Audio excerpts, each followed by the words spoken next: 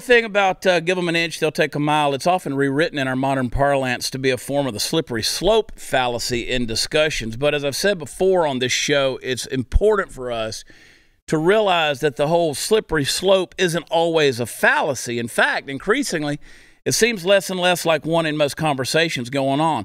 Valrico, Florida. Let's go there. Pack the bags of your mind and be sure to include the sunscreen and the flip flops. We're going to uh, Florida, folks. Grace Christian School. They're coming under fire for their recent announcement that they not only won't be referring to school kids by anything other than their correct gender pronouns, but in fact, that if any of the kids in their school are leading and uh, an open and active homosexual lifestyle, they're going to be asked to leave. Now, the same goes for school kids leading an open and active heterosexual lifestyle. So let me be clear on that. Uh, I'm guessing that part won't get a lot of the press attention. Now, here's where that whole inch and mile thing comes in because some of the people in this country, maybe a majority, they've sort of had it in their mind for the past several decades that if you allow the left's agenda to exist right out in the open, uh, it will not come just barging into the places you create for yourself. I mean, why not allow gay marriage if there's never going to be a time when your church is forced to perform a gay wedding, for example? And if the world worked that way, I'd probably agree with that line of thinking, but unfortunately, uh, it does not, uh, as is evidenced by how much of a ruckus this whole thing is stirring up. So this is a private school, and ostensibly the people who make up its school board, if that's even the system they're using, I don't know, they're pretty much entirely uh, in charge of who gets to attend there and who does not.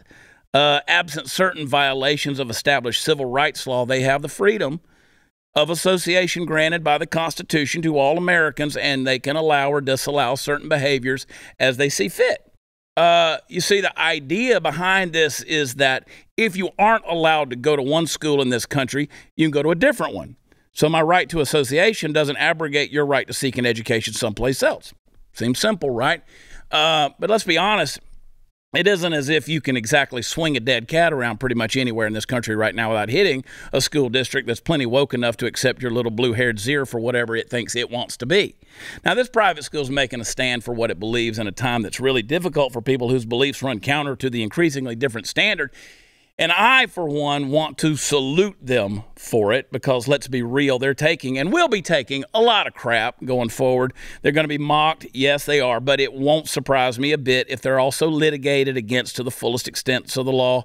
And uh, they're in Florida, so maybe that won't be as bad as it could be elsewhere but it isn't going to be a picnic. I mean, that's for sure, folks.